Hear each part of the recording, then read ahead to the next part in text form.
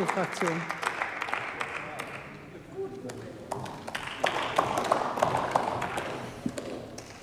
Frau Präsidentin, liebe Kolleginnen und Kollegen, meine Damen und Herren! Ja, lieber Uwe Kirkeritz, das war leider ein bisschen einseitig grün. Beim Hemd macht man das ja noch akzeptieren. Äh, aber bei den Inhalten sollte man etwas ausgeglichener sein. Ich will versuchen, äh, das bei dieser Thematik äh, zu erreichen. Völlig richtig, Palmöl ist überall. Ähm, wir haben es in Nahrungsmitteln, wir haben es in Hautcreme, wir haben es in Seife, Sonnenmilch, wir haben es in Lippenstiften. Es ist zudem in Schmiermitteln, bei Kerzen, in Farben. Äh, und Lacken enthalten. Fünf Prozent der Palmölernte werden weltweit als Rohstoff für die Strom- und Wärmeproduktion ähm, genutzt, äh, und zwar als Biokraftstoff. Auf der anderen Seite ist der Rohstoff Lebens- und Einkommensgrundlage für viele tausend Menschen in den Entwicklungs- und Schwellenländern. Aber der Segen für viele Kleinbauern ist oft ein Fluch für Umwelt und Gesundheit. Das muss man eben auch sehen und sagen. Während im letzten Jahr die Wälder, äh, es ist gesagt worden, in Indonesien brannten, konnten die Menschen in vielen Teilen Südostasiens äh, bis Singapur hin in die großen Städte nur mit Mundschutz auf die Straße gehen. Und das darf sich nicht wiederholen. Meine Damen und Herren, der Hauptmarkt für Palmöl ist nicht in Europa, das müssen wir auch sagen. Die EU kommt mit ca. 10 Prozent an, erst an vierter Stelle. Es sind Indien, Indonesien und China. In Deutschland wird ca. 2 Prozent der Weltproduktion von Palmöl verbraucht. China, Indien und Indonesien nutzen bereits 40 Prozent der weltweiten äh, Produktion. Auch ähm, aus den Keimen der Palmölfrüchte wird Öl hergestellt, das sogenannte Palmkernöl. Hier liegt der deutsche Anteil am Verbrauch höher. Wir verbrauchen ca. 80, 8 Prozent der weltweit gehandelten Menge.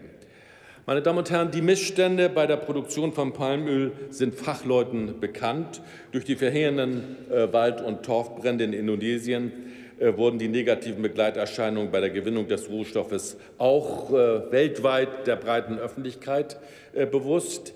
Wie besorgniserregend diese Waldbrände waren, macht äh, sich darin zeigen, dass die amerikanische Weltraumbehörde NASA sie als die bisher schlimmsten Waldbrände überhaupt äh, bezeichnet hat. Vielfach äh, werden die Feuer absichtlich gelegt, um mit dem Mittel der illegalen Brandrodung Tropenwald zu beseitigen und anschließend auf den Flächen Palmplantagen anzulegen. Der Blick richtet sich ähm, in diesem Zusammenhang einerseits ähm, auf die Anbaugebiete. Dort werden oft durch Brandrodung eben neue Flächen, neue Anbauflächen geschaffen, um der Nachfrage gerecht zu werden. Damit gehen aber der Verlust von wertvollen Primärwäldern, von Biodiversität und die Freisetzung von Kohlendioxid in die Atmosphäre.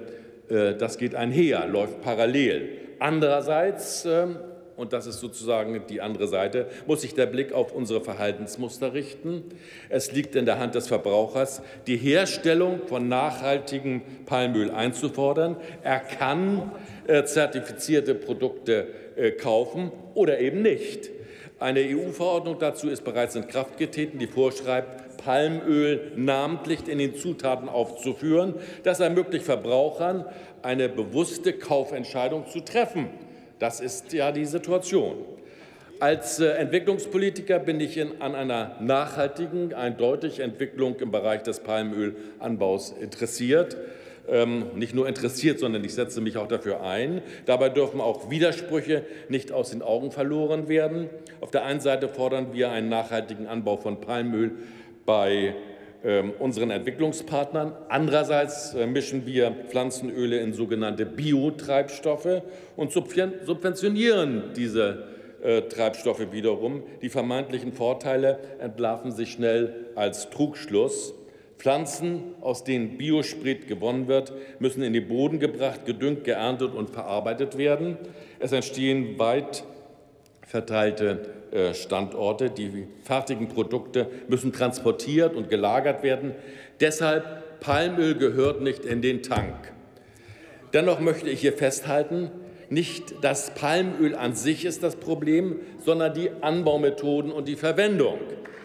Deshalb ist eine Förderung von nachhaltigem Palmöl von zentraler entwicklungspolitischer und auch klimapolitischer äh, Bedeutung und gesundheitspolitischer Bedeutung.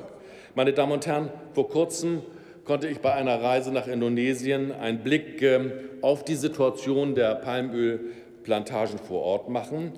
Äh, ich erhielt den Eindruck, dass sich auch bei unseren Partnern äh, ein Umdenken einsetzt oder eingesetzt hat. Die indonesische Regierung hat äh, zahlreiche Maßnahmen auf den Weg gebracht. Zuletzt setzt die Regierung auf eine verstärkte Brandprävention und bessere abgestimmte Brandlöschung. Das Abholzmoratorium, das Abholzverbot wurde vom Präsidenten erneut verlängert. Das Forstministerium hat ähm, ein webbasiertes Frühwarnsystem eingeführt und nutzt die Daten, Daten der NASA. Das indonesische Waldbrandüberwachungssystem ist übrigens in Echtzeit von jedem Smartphone äh, erreichbar. Es finden regelmäßige Aufklärungsflüge statt. Ähm, Regionale Waldbrandbüros wurden eingerichtet und Löschkanäle äh, angelegt. Darüber hinaus äh, investiert Indonesien ähm, in die Nachhaltigkeit des Palmöls. Äh, die Notwendigkeit hierzu hat man erkannt und strebt in diesem Zusammenhang auch eine engere ähm, Zusammenarbeit mit den Importstaaten des Produktes an.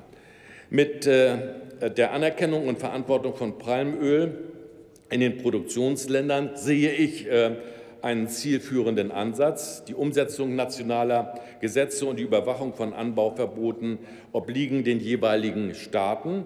EU-Verordnungen und Siegel können äh, ähm, ähm, vor Ort nicht die Verantwortung ersetzen, die notwendig ist, sondern sie können eben nur einen Rahmen geben. Liebe Kolleginnen und Kollegen äh, von den äh, Grünen, lieber Uwe Kekeritz, gestatte mir einige Anmerkungen äh, zu eurem Antrag. Erstens, äh, die Forderung nach verbindlicher Einhaltung von Umwelt- und Sozialstandards ist ein wichtiges Anliegen der Koalition. Die Kritik an bestehenden Referenzsystemen wie dem vom WWF initiierten runden Tisch für nachhaltiges Palmöl ist zum Teil äh, berechtigt. Meines Wissens setzt sich die Bundesregierung deshalb eben auch dafür ein, die bestehenden anerkannten Standardsysteme weiterzuentwickeln und zu verbessern. Zweitens. Ähm, die Forderung nach Reduktion des Palmölverbrauchs lässt außer Acht, dass äh, Palmöl in großen Teilen von Kleinbauern produziert wird äh, und eben deren Existenzgrundlage bildet. Die Reduktion von Palmöl würde auch zwangsläufig zu einem größeren Bedarf an Flächen für andere Rohstoffe führen, solange keine adäquate Alternative zur Verfügung steht. Drittens. Die Produktion von Palmöl spielt eine gewichtige Rolle als äh, auch Devisenbringer für, Industrie, für äh, Entwicklung und Schwellenländer.